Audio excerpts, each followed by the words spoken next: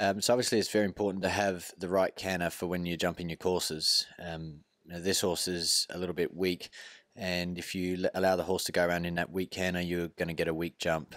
Um, so you need to create a little bit more canter, more jump, more energy, but maintain the same balance. Um, and and the way to think of it is, you need to imagine from every stride that you have the ability to go forward from it and the ability to come back from it. Um, and when you have a weak canter stride, then you don't have the ability to collect and come back because there's not enough there already. So um, very important, make sure you have enough canter, gives you options, and the horse has enough power when he gets to the fence.